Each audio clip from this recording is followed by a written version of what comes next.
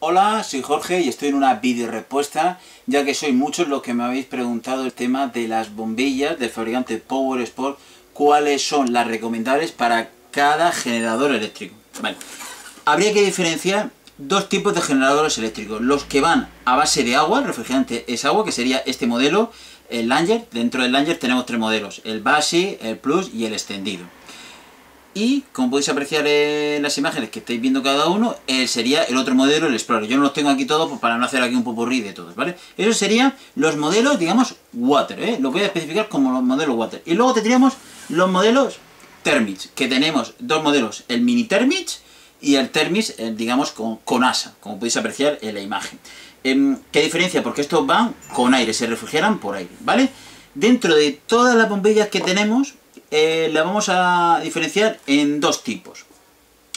Eh, las de water se diferencian, unas son water, que digamos serían específicas para los modelos water, y otros modelos aire, que serían específicos para estos dos modelos, ¿vale?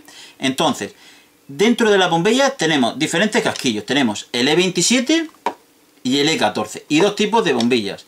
Esta que serían de 360 grados, que la tenemos en luz blanca y en luz cálida, y y en tipo, eh, estas serían de 9 vatios y esta sería de 5 vatios en, digamos, tipo foco. Esta sería más tipo foco para iluminar una estancia y tal.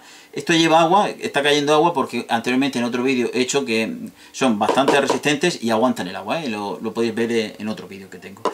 Eh, como voy diciendo, mm, para el modelo, eh, muy fácil, y os lo voy a explicar. Para los modelos agua, que serían estos modelos de aquí, los Langer, los tres modelos, y el Explorer tenemos que elegir bombillas water. Y para los modelos aire, tenemos que coger la bombilla aire. Y ya tenemos, si queréis, en esta de 360 grados, que iluminaría en 360 grados, o en tipo foco, que también tendríamos estos dos modelos. Y luego casquillo E27 eh, e o casquillo E14.